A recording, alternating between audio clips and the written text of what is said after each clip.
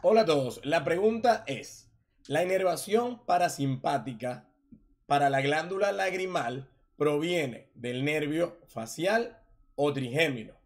Hice una encuesta en Instagram y la mayoría respondió que era proveniente del trigémino. Están equivocados, ya que proviene del el nervio facial. Vamos a verlo de, de forma bien explicada y detallada en diagramas y en imágenes 3D. Empezamos con este diagrama Acá podemos observar dos nervios a tener en cuenta, el nervio petroso mayor y nervio petroso profundo. El nervio petroso mayor es rama del nervio facial y trae la información parasimpática del núcleo lagrimal del facial. Este nervio petroso mayor se une al nervio petroso profundo, que es un nervio simpático proveniente del plexo simpático carotidio. Al unirse estos dos nervios forma un nervio llamado nervio del conducto pterigoideo el cual atraviesa este conducto del mismo nombre llamado conducto pterigoideo para poder alcanzar al ganglio pterigopalatino, que es un ganglio parasimpático del nervio maxilar, rama del trigémino. Luego se unen al nervio cigomático, rama también por supuesto del nervio maxilar, hasta llegar a la glándula lagrimal, en donde esta también recibe la inervación sensitiva del nervio lagrimal, rama del el nervio oftálmico del trigémino también. Entonces la glándula lagrimal, tenemos que la inervación sensitiva la da el nervio lagrimal, rama del nervio oftálmico del trigémino, la inervación parasimpática la, da el nervio petroso mayor, rama del nervio facial, y la inervación simpática la da el nervio petroso profundo, rama del plexo simpático carotídeo. Acá observamos nuevamente, vemos esta raya azul, que es el nervio petroso mayor, rama del facial, cómo se une al nervio petroso profundo, nervio simpático del plexo simpático carotidio, forman el nervio del conducto pterigoideo, atraviesan este conducto pterigoideo para llegar a la fosa pterigopalatina, en donde se encuentra el ganglio pterigopalatino, y da ramas entonces para las glándulas del paladar blando y duro, para la mucosa nasal y la rama para la glándula lagrimal y así llevarle la inervación tanto parasimpática del facial como simpática del plexo simpático carotidio.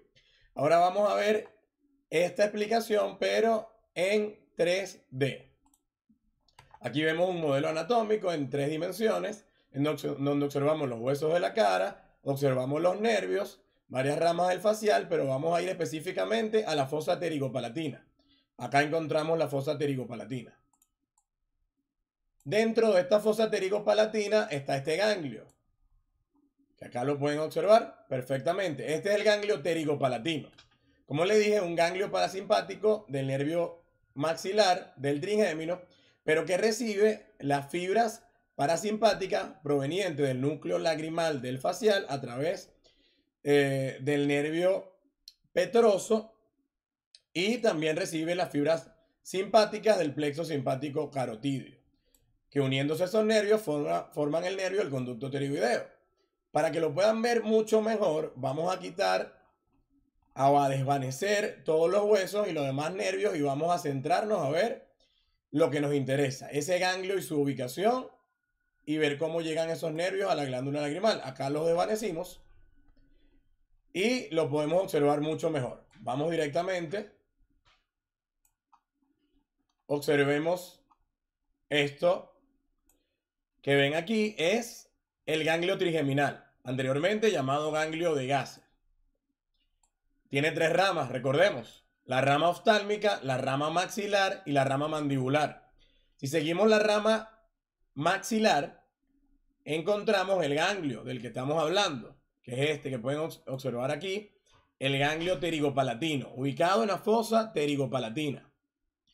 Este ganglio parasimpático entonces va a recibir, repito, las fibras parasimpáticas del nervio facial y las fibras simpáticas del plexo carotidio.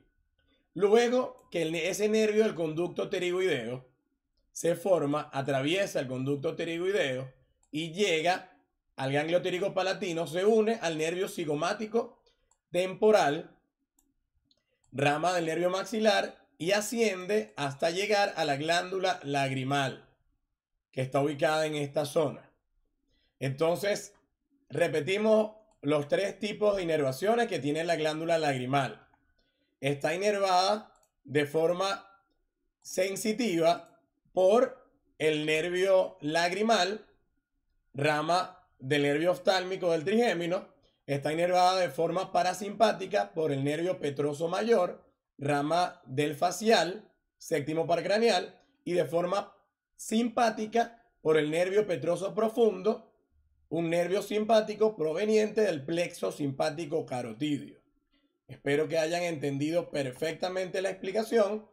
Muy pronto voy con el video completo del trigémino y su recorrido desde su origen hasta sus ramas terminales y también la del nervio facial.